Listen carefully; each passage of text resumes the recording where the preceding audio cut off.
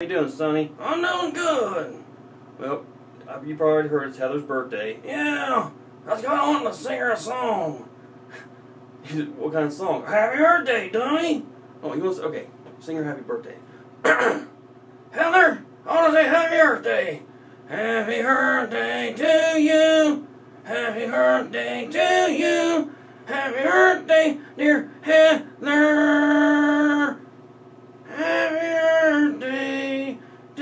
you.